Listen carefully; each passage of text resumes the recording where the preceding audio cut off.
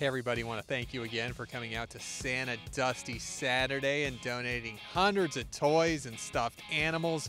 Monday evening, we stopped by the Tucson Fire Station off of River Road and First Avenue, dropped off the toys with the Marines Toys for Tots, News 4 Tucson Season for Hope. Thanks for everything they're doing to take care of our community here during the holidays. If you had a chance to stop by our festive family photo booth on Santa Dusty Saturday, we'll have those postcards for you coming up at TucsonRoadrunners.com. And hope you have a chance to check out my conversation with gold medalist Louisa Wilson.